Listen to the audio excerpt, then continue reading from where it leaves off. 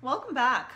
Bar six left us off with a first finger on the D string. Bar seven here is gonna start off with third finger on the D string, with a nice accented down bow. And then our two throwaway notes are gonna be open A, 1A,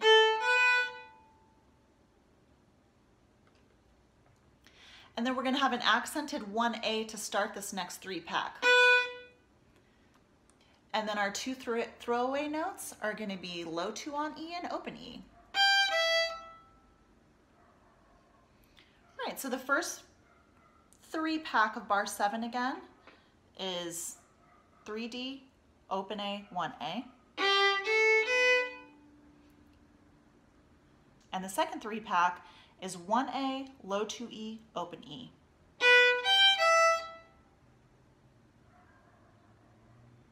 And then bar eight is so super satisfying. It starts off with one and three on A, and we're gonna play a nice accent on this 3A.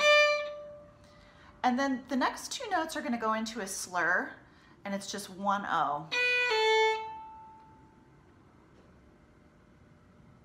So that whole three pack is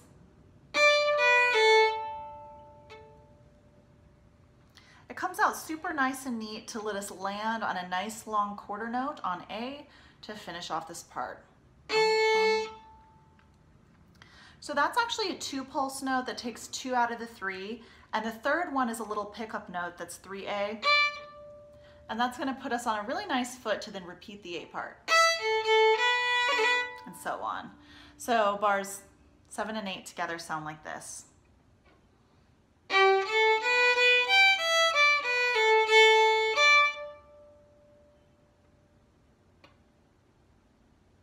So take a moment here to get that part under your fingers, whether you prefer to look at the sheet music for a little bit of help.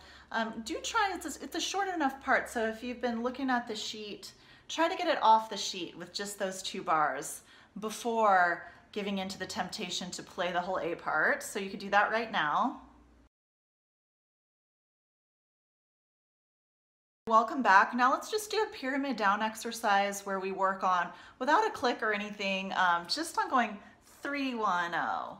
It's kind of like our waterfalls, but now we have kind of a cool bowing going, which I think could also work really well in a blues style solo in an Americana song. So I think this would be fun to practice. And it also might be fun to do something that I hardly ever suggest, but is, that is occasionally uh, kind of fun to do, which is just kind of increase tempo as you go. Um, it's usually not a good idea because it creates the habit of speeding up Usually you want to just stay at one tempo and then really deliberately change to the next. But for this, this could be a little bit of fun just to kind of see how quickly you can get it going while still maintaining good intonation. So.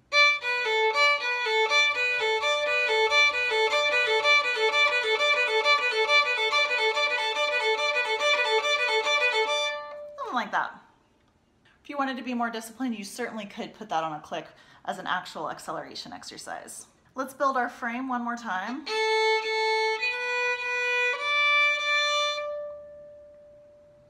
And then I'll leave you off with one more example of what bar seven and eight sound like together.